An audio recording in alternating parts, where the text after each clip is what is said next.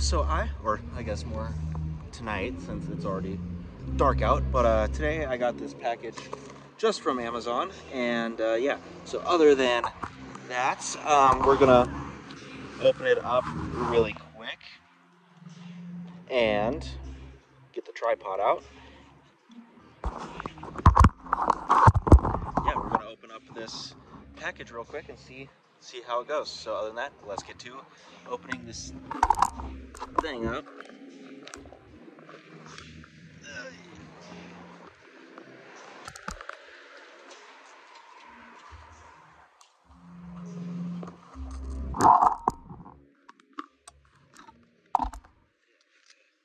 Opening this beast up and just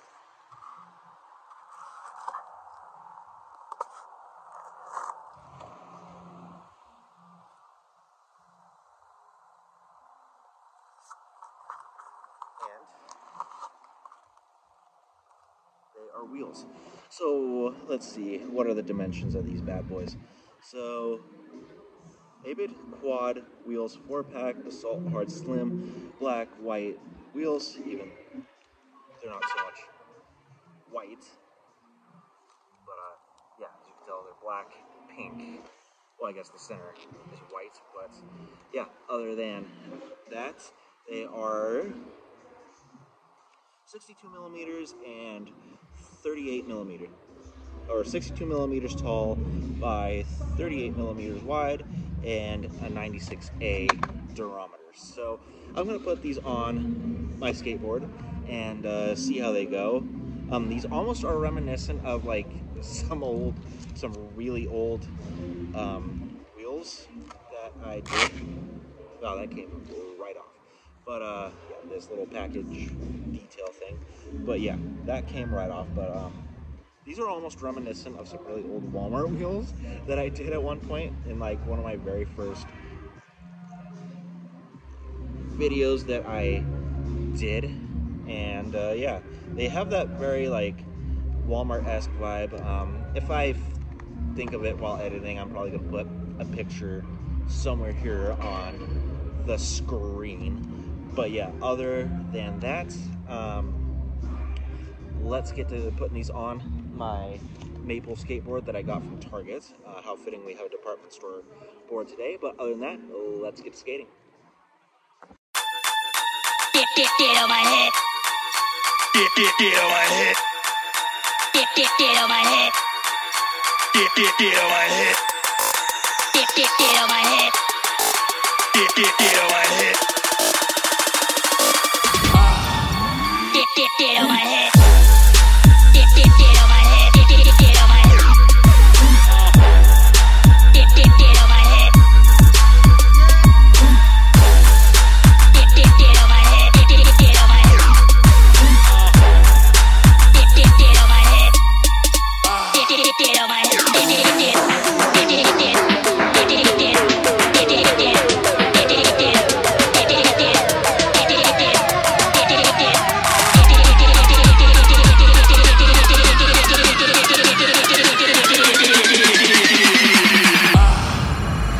quiero.